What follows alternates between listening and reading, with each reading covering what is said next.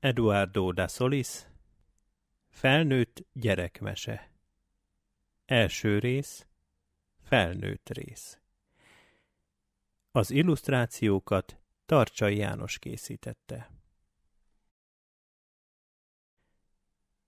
Ezek festmények. De mivel nem tudnak beszélni, ezért én teszem meg helyettük mind-mind csupa szimbólum, hiszen a jelenségek, a folyamatok így jeleníthetőek meg legjobban. Hiszen a fejünkben is folyamatok játszódnak le, amiket hamar egy szimbólumhoz vagy egy fogalomhoz kötünk.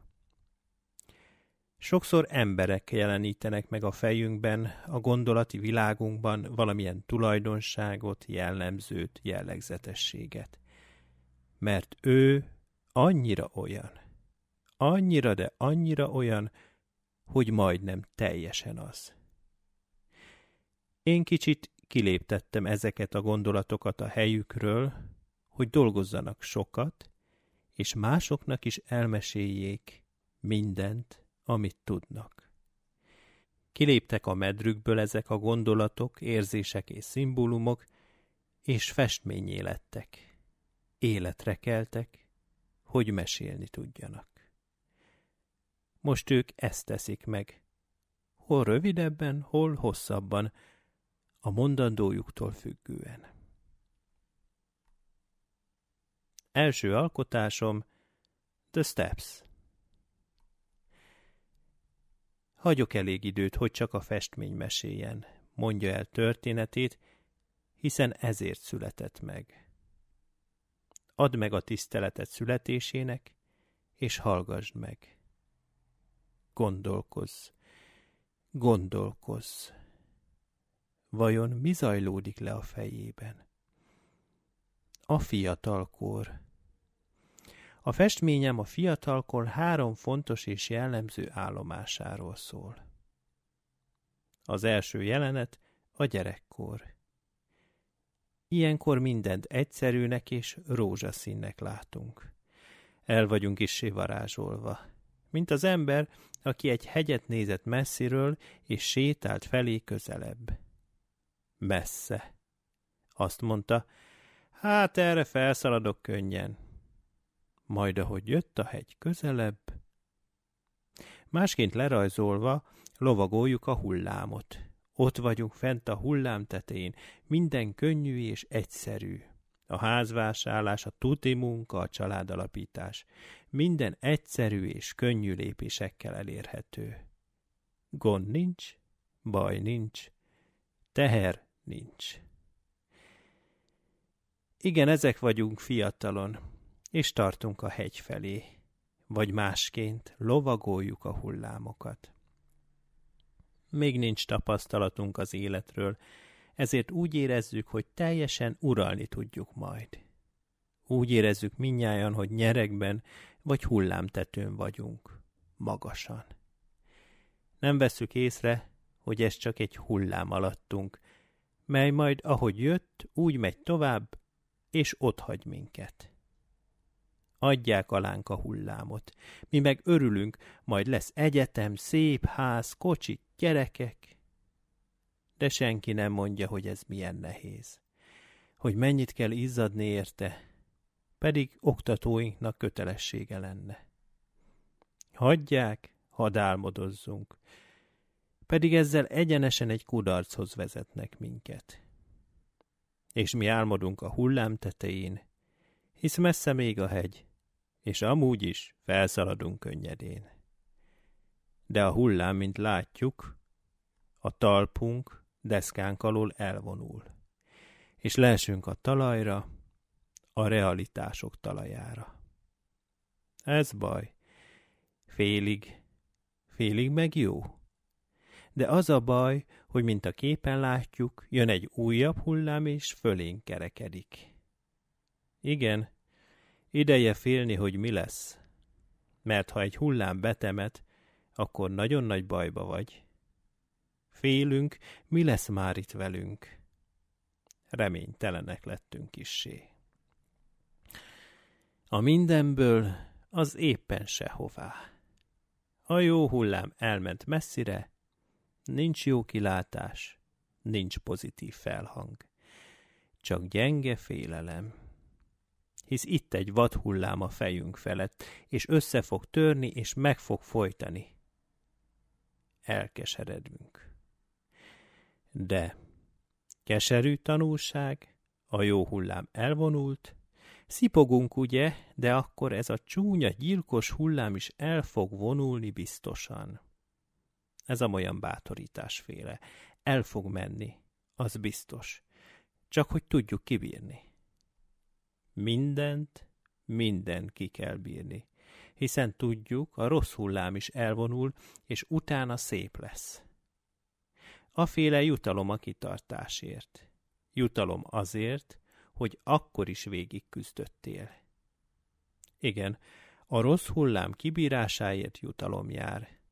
Hisz mi másért lenne ez a próbatétel. Mindent ki kell bírni, minden kegyetlen hullámot. Bántást, megaláztatást, pénztelenséget, betegséget, szerelmi csalódást és a pokoli küzdelmeket az életben maradásért. Ez a próba ideje. Itt kerül mérlegre kitartásod, erőd és hited, és ennek megfelelő lesz a jutalmad. Mindenkit megpróbál az élet. Mindenkit. De, mint látjuk, a hullám átvonul felettünk, ha kitartunk. Ez a lényeg. A kitartás. Hisz tudod, a hullám átvonul fejed felett. A hullám megedz, ez is lényege, hogy megedződj a hegymászáshoz, mert még mindig a hegy felé közeledsz. A te hegyed felé. A hullám megedz az útra. A hullám megedz az életre. Mindenkinek van egy hulláma, és mindenki feje fölött átmegy. Hogy megtanuljuk, milyen is az ilyen. De nem tud a hullám örökké kínozni, nincs erre hatalma legyőzzük kitartással és a kiállással magunkért. És bármilyen gonosz ez a hullám, ezek hatására elvonul, mert tudja ő, hogy nincs maradásának helye. Legyőzhetjük türelemmel és elfogadással, a sanyarú helyzet elfogadásával. Salátja nincs esélye, nincs maradása, elmegy, s többé velünk soha nem próbálkozik hisz legyőztük. Le kell győznünk a helyzetet saját fegyverével, amivel meg akar törni minket, amivel el akar sodorni messzire, hogy a hegyünket ne is lássuk. Mi törjük meg őt, és útjára bocsátjuk. S többet minket megtámadni nem mer, mert fél, mert legyőztük. Fél, mivel nem tudott minket megtörni, gyenge volt hozzánk képest. Ez a festmény erről a küzdelemről szól. Erről a csatáról, ami köztünk és a hullám között zajlik le.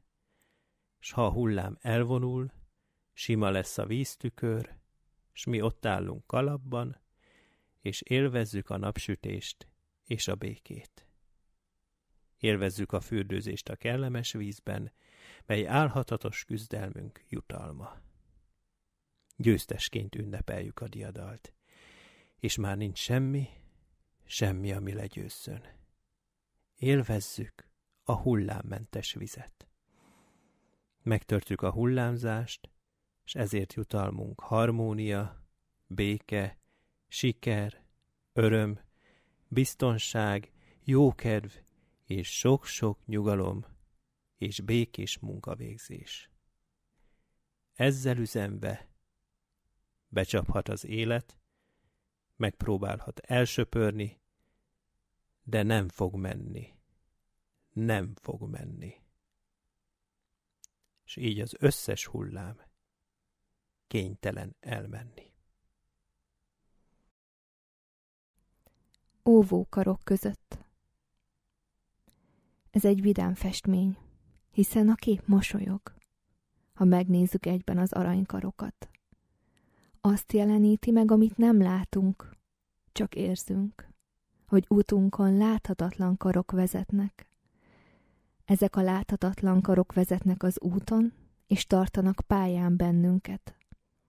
Aranykar az út is, és aranykar a terelő korlát is egyben.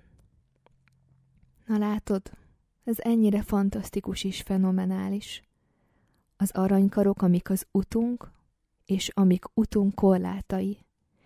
Mennyivel nagyobb bizalommal mehetünk így, hogy ezt tudjuk, hogy ott van alattunk az aranykar, és a vezetőkar segít nekünk. Mennyivel szabadabban rollerozhatunk, ha ezt tudjuk, és van, aki ezt tudja. De hát érezzük, hiszen a roller, amivel haladunk, csak nem mehet a levegőben. Valamint gurulnia kell. A roller itt a fő szimbólum. Bizony, szimbólum. Az a szekér, amit a magyar szekérnek mond. De modernek vagyunk. Ezért roller. A moderneknek roller, a régieknek szekér. Élvezzük hát ezért a sebességet és a vidámságot. És nem félünk, nem eshetünk le, mert meggátolják ezt a karok. Hát nem felszabadító és örömteli érzés ez? Elérjük a mélypontot, kockáztatunk, vagy halunk, vagy nyerünk. Ehhez minél nagyobb sebesség kell. Lefelé haladunk a szakadék felé, és nagyon gyorsan. Rohanunk a vesztünkbe. De nem. Mert mi tudjuk, hogy lent a két kar összeér. Így nem eshetünk le, mint a flipperben. Rohanunk a vesztünkbe, de csak játszunk, mint egy érett kisgyerek. Azok vagyunk.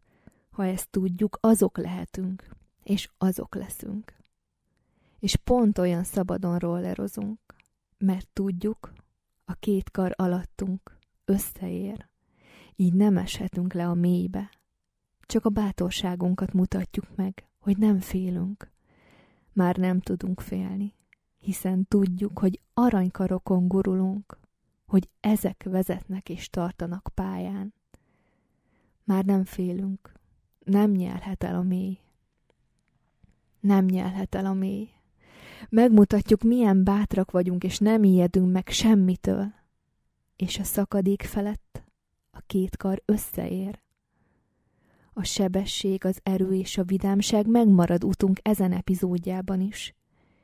És a túloldalon a bátorság próba tanúság tétel után életünk magasan ível fel. Ez a bátorság és a szabad rollerezés jutalma.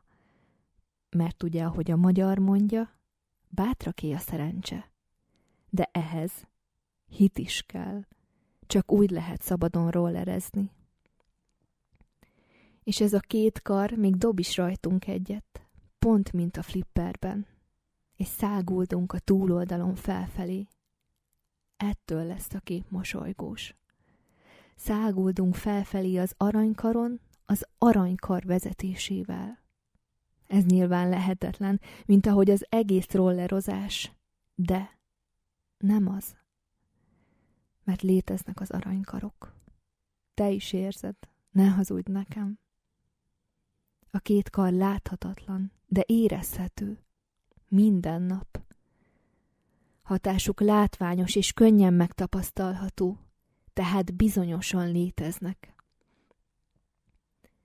Te is biztos érezted, ha rolleroztál. Kipróbálnád de nemes gyakorlatot? Hát tedd, de figyelmeztetlek.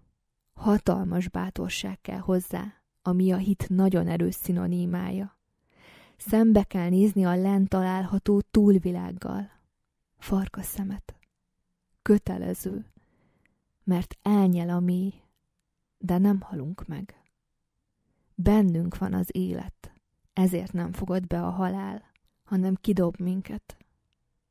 Nem kellünk nekik, s a flipper karok ettől igen működnek, és szaladunk fel az emelkedőn a rollerrel. Feldob minket a magasba a két flipper kar, Utána még nagyobb a sebességünk, mint lefelé menet. Kint vagyunk a völgyből, és sosem megyünk arra vissza. Legyőztük a halált. Mert elnyel minket a mély, de nem halunk meg. és inkább kivet magából minket. Kidob magából, nem kellünk neki, mert nincsen bennünk félelem. Ez a győzelem visz minket a magasba. Túl a völgyön, túl a hegyen, fel-fel az ég felé. Miénk a világ. Nyertünk, most már nincs ellenség. Legyőztük a legnagyobbat, ezért szárnyakat kaptunk fentről. Félig már repülünk, s kacagunk, már csak kacagunk, s már csak kacagunk, kacagunk. A föld születése. Ahogy a képen látod, az alsó nagy szív a föld ószíve, ami egy eretnövesztett éjszakra, szoros kezek között. De ez a két kéz a születést nem tudta meggátolni. Az ér áttört a blokádon, mert az élet élni akar, és nincs gátja. Ha az élet élni akar, akkor élni is fog. Áttört a blokádon. Majd ahol volt szabad terület, új szívet növesztett, mert északnak nem volt szíve. Így egy kis szív született, mely kicsi volt, de erős.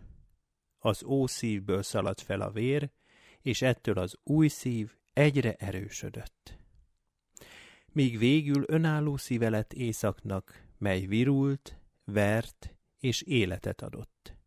Az ér pedig megmaradt, melyen áramlik felfelé az erősítő tápláló vér, s az új szív árasztja az életet, és örül neki. A vér északra áramlik, majd északról délre, s a kapocs él, és örök. Ezt hallottam valahol valamikor régen, és most elmondom úgy, ahogy én hallottam. Hogy a nagy déli szív megérezte, hogy baj van az északival. Hiszen látszik, az összezsugorodott, és nagyon kicsi lett. A teremtő pedig, aki a világot megkonstruálta, ügyelt erre, hogy mint két jó testvér között legyen kapcsolat a két szív között is. Visszajelzések, üzenetek és életek csatornája. És így tudnak egymásra figyelni, hiszen a kapocs állandó és szoros. Mert ő ezt akarta és ha az egyik érzi, hogy a másikkal baj van, segítségére siet. Ez nem mese. Figyeld meg az életet, a történelmet és a térképet. Igen, a nagy szív egyre nagyobb, a kis szív egyre kisebb.